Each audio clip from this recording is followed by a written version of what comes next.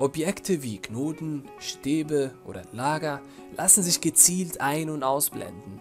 Das Modell kann über Linien, Bögen, Winkel, Neigungen oder mit Höhenknoten bemaßt werden. Frei angelegte Hilfslinien, Schnitte und Kommentare erleichtern die Eingabe und die Auswertung. Auch die Hilfsobjekte können einzeln ein- oder ausgeblendet werden.